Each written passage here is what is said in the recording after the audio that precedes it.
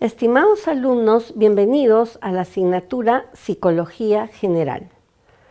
¿Sabían que la psicología se volvió ciencia en 1879 cuando Wilhelm Wundt estableció el primer laboratorio de psicología en el que se aplicaron los principios de la experimentación a los fenómenos mentales?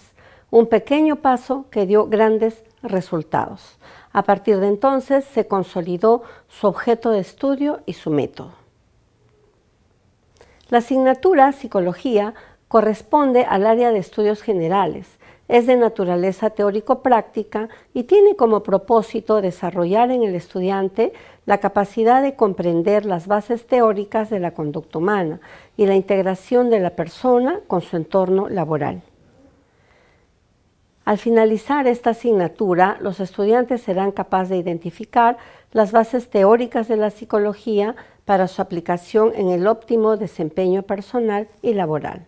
La asignatura está dividida en cuatro unidades a desarrollarse dos cada una, dos semanas cada una.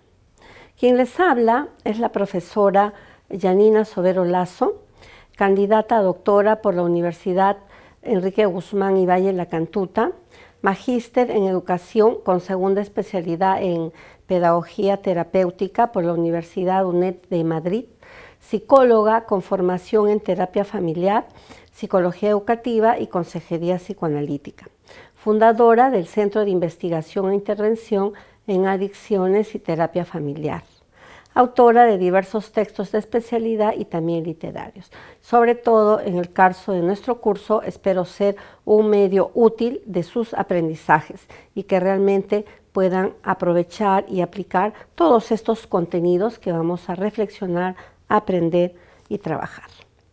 Espero tener la oportunidad de conocerlos y acompañarlos en esta aventura de aprender. Bienvenidos.